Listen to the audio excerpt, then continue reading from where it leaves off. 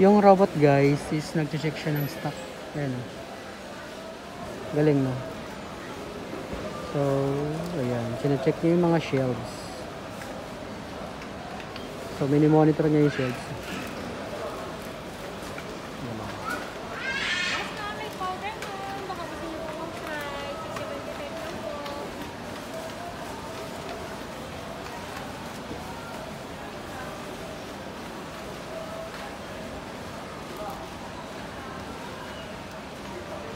Sine-check niya yung stock sa shelves.